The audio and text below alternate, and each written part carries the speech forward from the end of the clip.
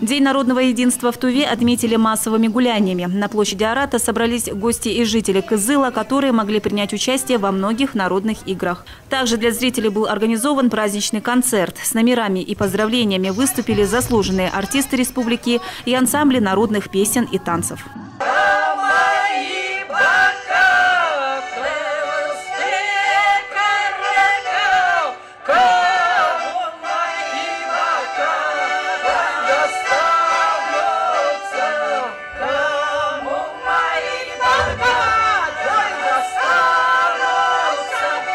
После концерта в Национальном музыкально-драматическом театре Республики для всех желающих прошла выставка «Дегустация национальных подворий», а также экспозиция предметов декоративно-прикладного искусства и народно-художественного промысла. Вот в таком масштабе, на, мой, на моей памяти, наверное, больше десяти уже.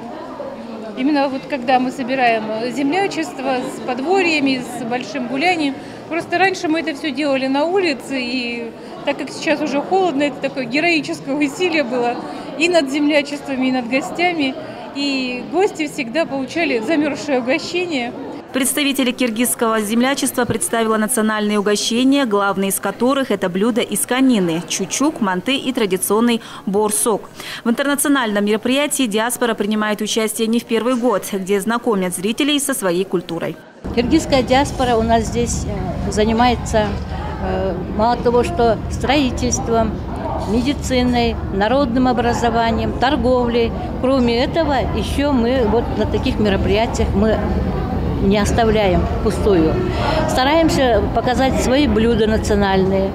Также участниками выставки стали Центр развития тувинской культуры и ремесел, Центр русской культуры, Армянский центр Звартноц, Киргизский культурный центр Достуг, Якутское землячество и многие другие.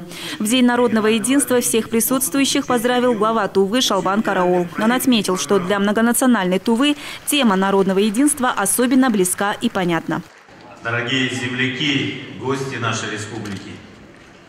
Позвольте всех вас от души поздравить с нашим днем, с Днем Народного Единства.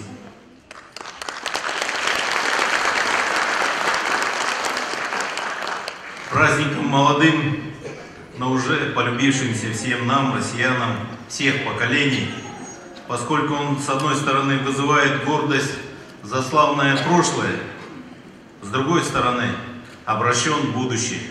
Зрителей ждал сюрприз, который подготовили Ассамблея народов России и Ассамблея народов Евразии. Это поздравление космонавтов с Днем народного единства.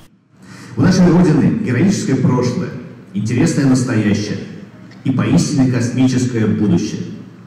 Мы, космонавты Роскосмоса, гордимся Россией и делаем все, чтобы Россия гордилась нами. Мы россияне, Наша Родина многонациональна. Мы говорим на десятках языков. У нас разные традиции и верования.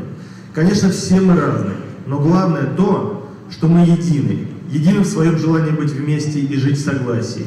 Едины в заботе о нашем доме. Едины в стремлении защитить его и сделать его лучше.